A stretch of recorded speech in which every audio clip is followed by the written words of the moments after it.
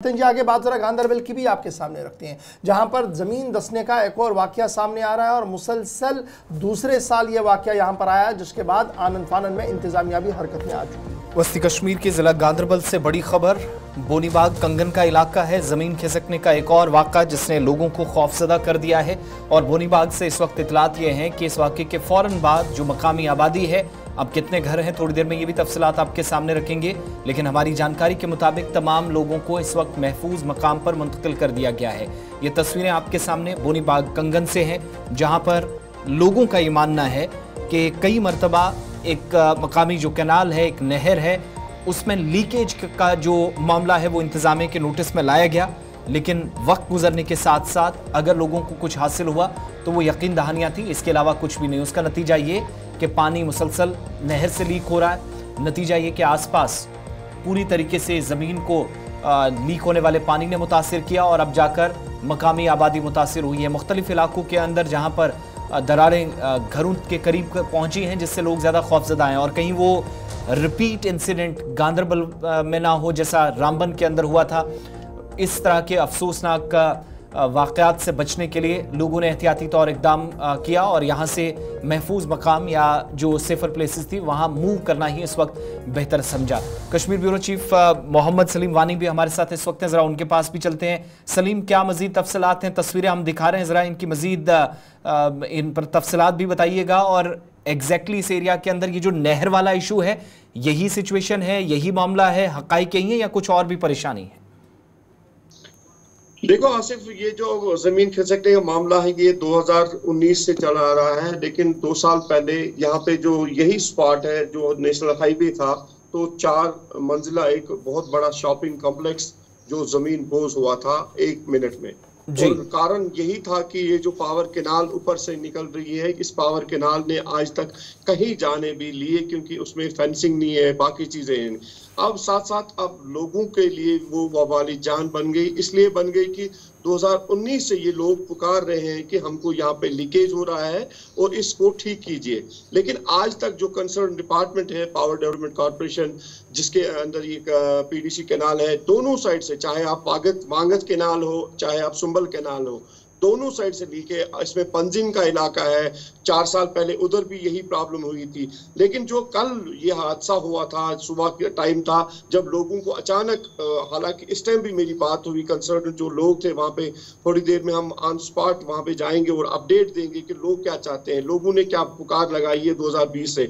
2020 में ये कंसर्न जो विलेज है, उनके लोग कंसर्न डिपार्टमेंट के पास एक मेमोरेंडम भी दिया था और एक एफिडेविट भी दिया था कि हमको खतरा है। लेकिन इस टाइम कल जो ये पे वहाँ पे ज़मीन खिसक गई है। अभी इनके मुताबिक ये ढाई फुट ढाई इंची ज़मीन आज सुबह और दोबारा ये खिसक गई है। लेकिन दो घर अभी जिनको फौरी तौर पे पंचायत घर में शिफ्ट किया गया था। सितमजरी ये है कि नायब तहसीलदार अभी तक वहाँ पहुँचा है। नायब तहसीलदार आज के जमाने में अगर देखा जाए तो पोर्टफोलियो के हिसाब से वो बहुत कम है। क्योंकि नायब तहसीलदार के बस की बात नहीं है कि इस मामले को हल करने के लिए। अगर इसमें पीडीसी कनाल में एग्जीक्यूटिव इंजीनियर है चीफ इंजीनियर है सुपरिटेंडेंट इंजीनियर है, या एडमिनिस्ट्रेशन है तो इस इस हवाले से अगर बात करेंगे तो लोगों को यहाँ पे एक मदद की ज़रूरत थी लोगों को एक हौसला की ज़रूरत सलीम ये तो ये बताइएगा कि कुल मिलाकर कितने मकानों को नुकसान पहुँचा है और कितने को खदशा है कि यहाँ पर नुकसान पहुँच सकता है क्योंकि अगर रातों रात कुछ घरों को निकाला गया डेट मीन्स की अलार्मिंग सिचुएशन है ये गांधरबल के बोनबाग इलाके के अंदर। बिल्कुल गवर, जो अभी तक दो मकानों को, जो दो घर है, गुलाम नबी मीर है और गुलाम कादिर मीर है, जिनको पंचायत घर शिफ्ट किया गया था। लेकिन कश्मीर में एक लोगों का एक जमीर ज़िंदा है, हर हमेशा रहता है तो लोगों ने उनको अपने घरों में लिया है उसके बाद। लेकिन नायब तहसीलदार साहब ने वहाँ पे बताया था कि आप पंचायत घर में आ जाओ।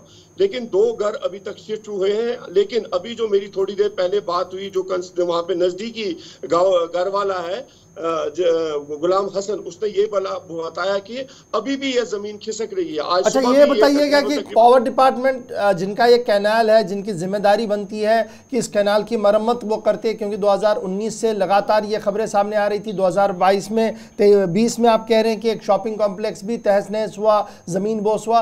क्या उसके बाद भी इंतज़ामिया हरकत में नहीं आई और पावर डिपार्टमेंट को कहा गया कि जनाब, इसको ज़रा स्ट्रीम करे, ये लीकेज जो है इसको बंद करें। जी गवर अगर कहेंगे तो हमारे नेट नेट हमारी ऑर्गेनाइजेशन गुलिस्तान न्यूज़ ने भी बहुत बार नहीं, कई बार हमने भी ये न्यूज़ चलाई कि इन लोगों को आप मदद कीजिए, इन लोगों को आप सामने जाइए।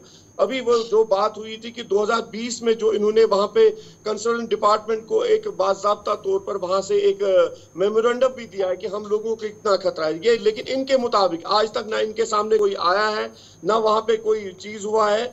पानी बराबर और आज इनका यही कहना है कि पानी अब निकल रहा है नीचे से। चलिए बहुत इसका मतलब क्या है? ए, एक चीज़ बताइएगा कुछ लोग बता रहे हैं कि रिपेयरिंग हो जाएगी तो मसला हल हो जाएगा। यही ऑप्शन है या कुछ और करना पड़ेगा?